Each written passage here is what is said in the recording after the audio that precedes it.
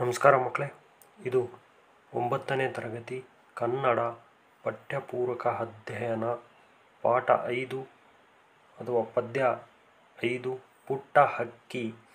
ಇದರಲ್ಲಿ ಈ ವಿಡಿಯೋದಲ್ಲಿ ಲೇಖಕರ ಪರಿಚಯ ಇದೆ.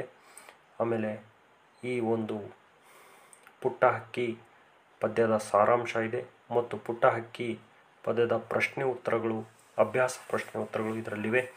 ಈ ಒಂದು ವಿಡಿಯೋನ ನೋಡಿ ವೀಕ್ಷಿಸಿ ಮತ್ತು ಲೈಕ್ ಮಾಡಿ ಶೇರ್ ಮಾಡಿ ಮತ್ತು ಸಬ್ಸ್ಕ್ರೈಬ್ ಮಾಡಿ ಮಕ್ಕಳೇ. ಗುಡ್ ಲಕ್ ಮಕ್ಕಳೇ.